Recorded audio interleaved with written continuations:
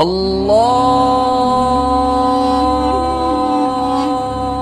Akbar. Kenapa Bilal? Karena Bilal adalah salah satu sahabat mulia yang telah masyur kecintaannya kepada Rasulullah dan sangat juga dicintai oleh Rasulullah. Kami berharap komik ini akan menjadi sarana untuk semakin menumbuhkan rasa cinta kita kepada Rasulullah dan kemudian hari akan terbentuk generasi muda Islam yang penuh kecintaan kepada Rasulullah.